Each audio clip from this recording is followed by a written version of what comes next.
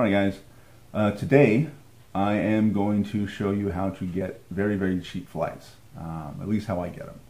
And I don't use, you know, credit cards or frequent flyer miles, anything like that, because I don't have a credit card. I got rid of those years ago. If I don't have the money to pay for something, um, I don't buy it. So, being that frequent flyer miles is not an option for me, um, I have to really do not a whole lot of research. I use two sites. Basically, I use uh, Google Flights and I use Skyscanner. I know some people like Momondo as well, but I've from what I've seen, uh, Skyscanner and Momondo pretty similar. Um, there's really not a whole lot of difference in the flights they they have, and I just like um, Skyscanner's interface better. So it's really what it comes down to. But I use those two sites exclusively. Um, and the way you get a cheap flight or the cheapest flight you can is by being flexible. Okay, so there's a couple areas that being flexible in will really give you a very very inexpensive flight. Now, the more you can be flexible, the lower your price is going to be for the ticket. So the first area is when you travel, and that means like time of the season, time of the year, and the day that you travel on. Now, obviously, if you travel during the summer, it's going to be a little more expensive than if you travel, say, in the winter or know, off season. Also, the day that you travel is also going to determine you know how low your ticket price is going to be. Normally, uh, Tuesday and Wednesday are the lowest fares, but sometimes you'll see you know an odd uh, Friday flight that's real cheap or a Sunday flight that's real cheap. And uh, Google Flights has a great calendar feature, and I'll show you that later on. But uh, it'll show you, you know, the lowest prices every day for the whole month, or two months actually at a time. So you can kind of search that way. So if you're flexible on when you go, you're going to get a good deal. Second area is being flexible about which airport you fly into. I, I like to use um, London as an example. So there's a lot of air, uh, airports there. Heathrow is the biggest one. It's also the most expensive. I love flying into Heathrow. It's a really great airport, but flying into say Gatwick will usually save you a couple hundred dollars.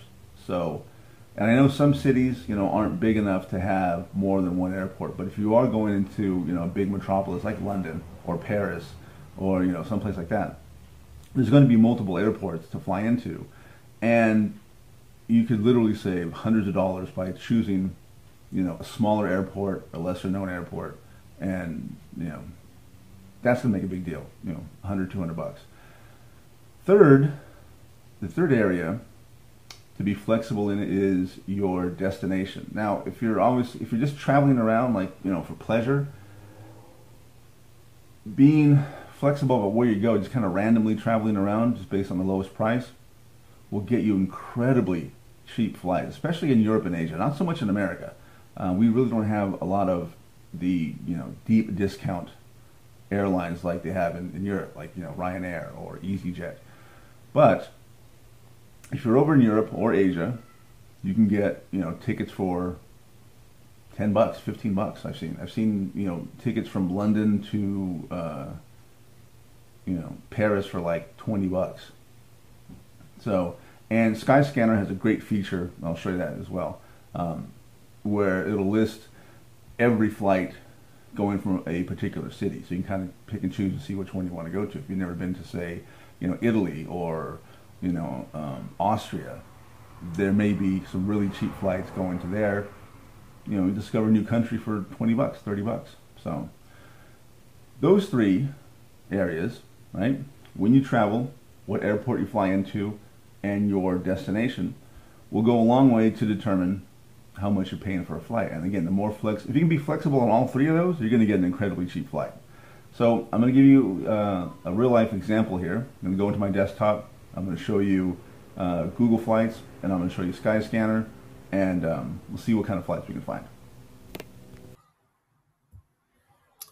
All right, guys. So we're here on the uh, Google Flights page.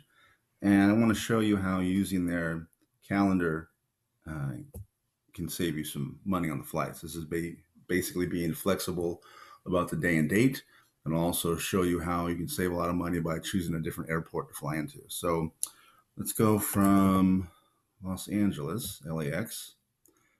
And I like to use London as a as an example. It's a big city. It's got a lot of different airports and it's got a lot of flights going to and from it. So right away you'll see uh, Google is telling you, hey, you'll save $119 if you leave on the 27th instead of the 29th, right?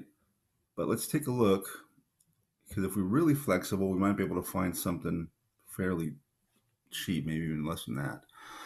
Uh, it'll show you here all the prices for each day, the lowest price for each day. And ah, here we go.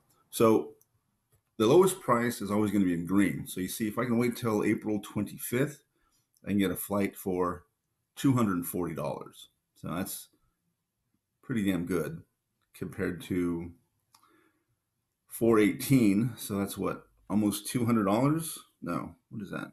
Yeah, $150 somewhere around there, 160 bucks. I'm not good at math on the fly, but uh, yeah, so being flexible, day and date, you save a lot of money. Now, let's show how being flexible on the airport you fly into can save you money. So the main airport in London is Heathrow, right? And let's take a look at what we have here. Uh, lowest flight is 591. Oh, that's Aeroflot. You don't want to fly them uh, because this one you're going to go, you're going to fly into Moscow first and then uh, fly back to London. So it's 21 hour flight. Uh, you don't want to do that. Uh, let's see. 597 so for six more dollars you can get on turkish. That's you know, that stops in istanbul too jeez. Uh still cheap flights though so let's say 597 okay if you go into to heathrow. Now come back up here and we fly into gatwick. So from 597 we've gone to 418 so what is that $100 almost somewhere around there. You know, so just flying into a different airport saves you money right there. Now, I want to go over to Skyscanner and show you how being flexible on your location, like where, where your destination, where you're going, can really find you some incredibly, insanely cheap flights. So I'm going to use London because, again, this really works for Europe and Asia the best. So you go to put in going from London to your destination. Just click, just click in the box, and this thing will come up and say, "Are you flexible?" Search everywhere. So click on that, and that'll essentially give you every flight leaving from London on that day. Um, don't know where we're going to go, but uh, I've seen flights from London to like Copenhagen for sixteen dollars. Um, you know, usually they're around maybe 20, 30 bucks, but they're really, really cheap. So uh, we'll see what this brings up. And hmm, why did this take so long? Normally it's right away.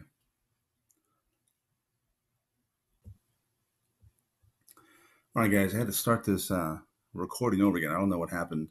Um, with this site, but you see the results here now. So we're going from London anywhere. I changed the date. Maybe that was a problem. I don't know. But I went a little further out.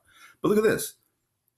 Flying to France for $6, a $6 flight. So let's see where it's actually going to, because it might not be somewhere. All right, so we got Strasbourg for $6. Um, I do not know how to pronounce that, but that's $7. Ooh, Marseille for $7? That would be an awesome trip right there. So, you know, you have that. Uh, let's see, where else we gonna go? Bordeaux for eighteen dollars, but you might not want to go to France. Let's see what else we have there. Well, that's an incredible seven bucks. Uh, Germany from eleven, uh, Norway, Switzerland, mm, Italy for eighteen. Let's see where we can go in Italy for eighteen dollars. And again, these might not be cities that you're, oh, Milan, oh, that's $21. Still not bad. Brindisi for 27. You head over to Greece from there. I've done that before. But yeah, so if you are flexible on where you want to go, the Skyscanner is great for that. You can find incredibly cheap flights, especially in Europe and especially in Asia. But uh, yeah, look at that, six dollars to go to Marseille. That's amazing, or seven dollars. But uh, yeah, so that's kind of how being flexible works in the real world, finding those great deals.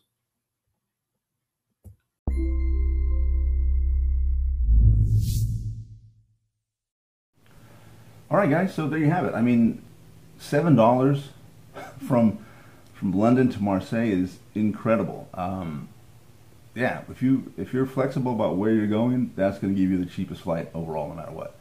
But uh, yeah, those three things. You know, you saw it on the desktop, you saw it what I went through. That was live. Uh, you can find some pretty cheap flights if you know you put in a little bit of work, and that was what maybe five minutes, ten minutes, not even ten minutes, maybe five minutes uh, to find that. So yeah, just do those three things. Be flexible in those three areas, and uh, you're going to find a really, really inexpensive flight. So that's all I have for today. Remember, subscribe to the channel, like and share this video, and um, be back with more stuff tomorrow.